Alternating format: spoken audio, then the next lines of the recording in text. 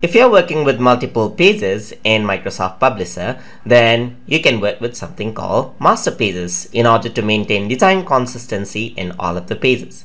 In order to do that, you can go into page design right here and on the right side you can see that there's master pages. So over here, uh, let's go to edit master pages right here.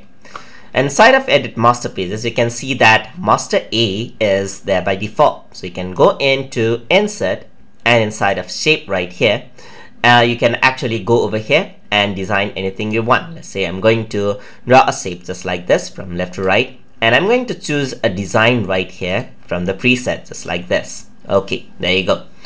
So if I were to close the master page, you can see that this design has been applied on all of the pages. And if I were to insert another blank page right here, you can see that all of the new pages has the design that is included in the master page.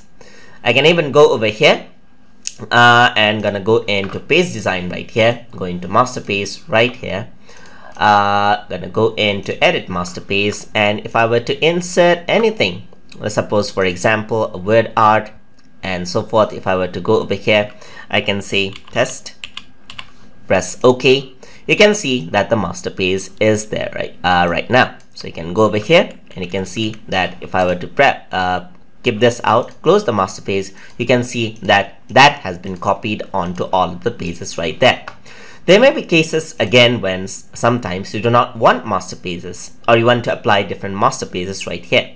So let's say the master page for this page is fine. Uh, for this page, I just want to remove it. In order to do that, in order to select and remove the master page, I can simply click over here.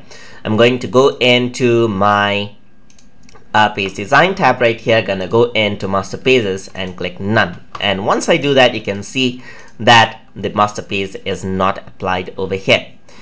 Uh, I can also apply different master page if I want to. So let's say for the two page, I want to apply two page design. Order to do, do that, I can go into master pages right here. I can go into uh, edit master page and create a new page, add a master page. So that adds a new, new page right here and I can do a two page design that's master page B and press OK as you can see.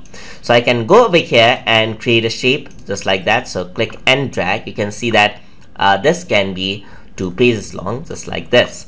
And over here you can go and click on any of the designs. I'm going to do that. I'm going to add in the preset and I'm going to close the master page and now I want to apply master page on all of these designs. So I'm going to click this click and hold and I want to apply master page. So I'm gonna go into page design. I'm gonna go into master page. And uh, I want to apply master page B right here.